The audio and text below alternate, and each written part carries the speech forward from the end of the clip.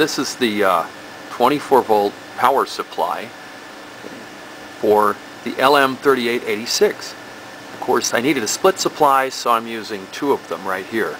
These are 24 volts so I'm going to be changing these to where they'll do 28 volts per rail. So you have plus and minus 28 volts.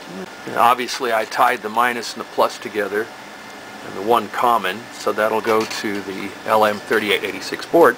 I did one modification to these on the bottom. Here's the modification right here. It's a 10,000 ohm resistor, the top of R18 right there at, to ground. And this um, changes the voltage from 24 to 28 volts. And I did the same thing in both modules. There's another one there. So we should have a very nice, well-regulated split supply for the LM 3886. These boards are very low cost. $8.89. There it is. These things do come from China, free shipping.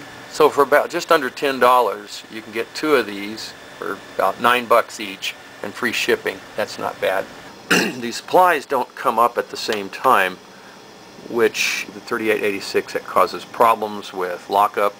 I put a small circuit here which allows the relay to pull in and when both supplies come up. So we'll look at this now. There it goes. It's on.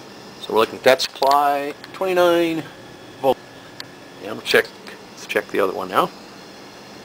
28 and a half volts.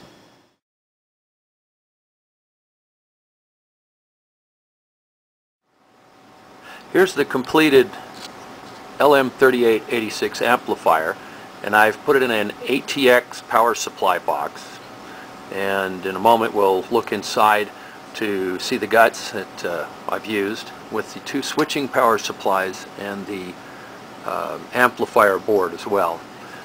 So here's the inside of the uh, case. There's the LM3886 on a heatsink from the uh, from the uh, microprocessor CPU.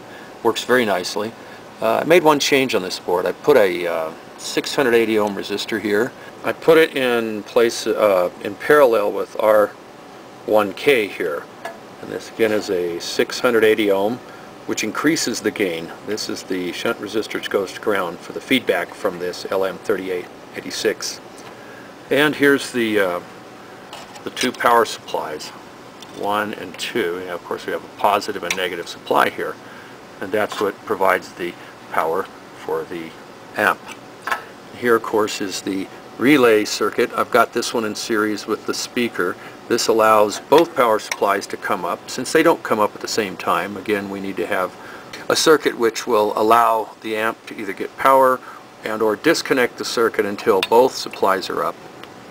And of course, I have a 12 volt fan from the uh, existing ATX power supply. And since it's a 12 volt fan, I took it through a resistor, a 240 ohm, uh, on one of the power supplies here and it runs quite nicely at 10 volts and it keeps this nice and cool.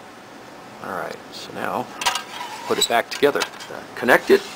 Let's uh, see how it works. So here it is. It's now operating.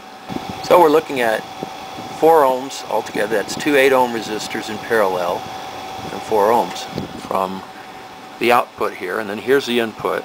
This again is connected to an oscillator. And then we're looking at 1 kilohertz right now. So those resistors are getting nice and toasty. We have, of course, the fan here to cool it for that. Let's look at the scope. I really got the scope connected to it. There's the scope lead.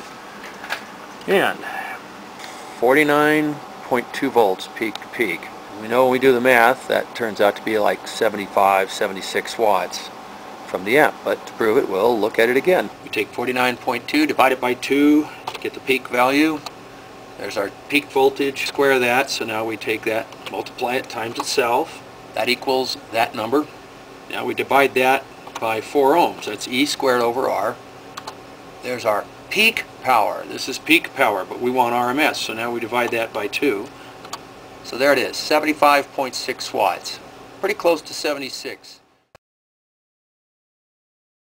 So here's the amp again. It's been operating consistently well over an hour now and it's still producing one kilohertz at 49.2 volts peak to peak, which we learned is about 76, like 76 watts into 4 ohms.